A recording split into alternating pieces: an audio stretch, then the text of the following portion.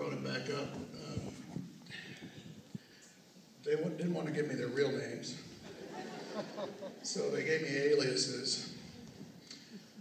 We have uh, Mike Carlin, John Payne, David McGill, and Darren Butler, formerly known back in when? Yeah, oh, a long time ago. Um, as for, F O U R, a while. So here they are.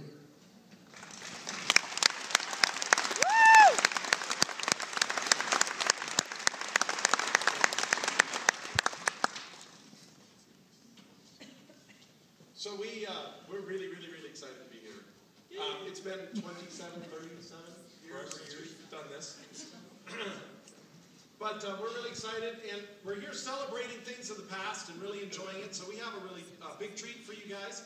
Do you guys want to go ahead and get that? I have a big treat for you guys. We're, we're going to celebrate something else in the past. I got these guys going to bring it out here. Uh, this is just something we hope you guys will enjoy. Um, this, uh, here it comes. Anybody recognize that?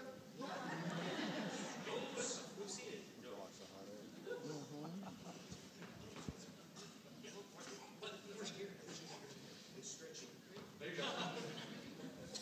It'll fit wherever. That's the magic product. It's a, it's a Victrola. What? A Victrola. It's like an old record player. I don't know what those are. What's a record It's like an old CD player. It's like an old MP3 player. So it's, it's used to spin these big old discs on it, but you had to wind it up to get it to work. Yeah, so we brought this in, and uh, we thought we'd uh, just uh, play for you guys